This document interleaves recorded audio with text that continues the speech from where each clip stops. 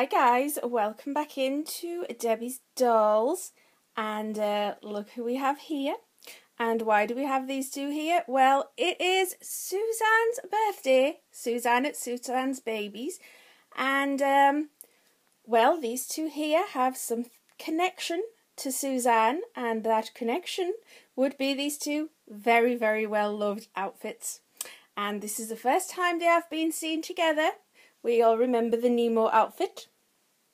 And now we have the Dory outfit, both thanks to Suzanne and uh, we all know what joy these two outfits bring to me. And I am, um, I put these on the other day so that I could adjust to them because as soon as I put them on and put them together, I just cracked up.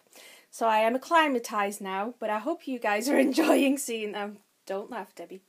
They wanted to come on here to say happy birthday to Suzanne. And I was thinking about putting all my babies into outfits that came from Suzanne but to be honest, I couldn't choose which outfits, but these two were an easy choice, obviously.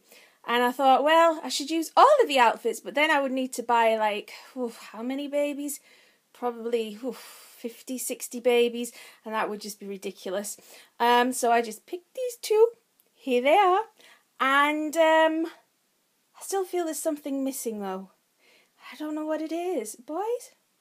This is Sam, by the way, Sam and Evan. What is it? Um, I just feel that it needs to be a little bit of something else to say happy birthday to Suzanne. Um, oh, I know what it is. Just give me a moment. I need to rectify this situation because I know what it is that we're missing. One second. There we go. Right, that's better. Yeah. Have to put this on because, of course, Suzanne. This, I called her this. Whoa. Her, she, Arwin. Suzanne actually made said hat the little berry hat for Arwin, along with the lovely little booties, so that's better. She's wrapped in a blanket at the minute. I think she's developed a little bit of a cold and she's wearing a onesie under there. I need to put her in something warmer. So there's Arwin, along with her two brothers, and all three of them want to say happy birthday, Auntie Suzanne, and thank you very much, although I don't think Evan's too impressed. I, I, I don't think it has anything to do with Auntie Suzanne. I think that's me making him dress like a little blue girl fish. Hmm, maybe I should have put that outfit on a girl, but he just looks so darn cute in it. Sorry, Evan.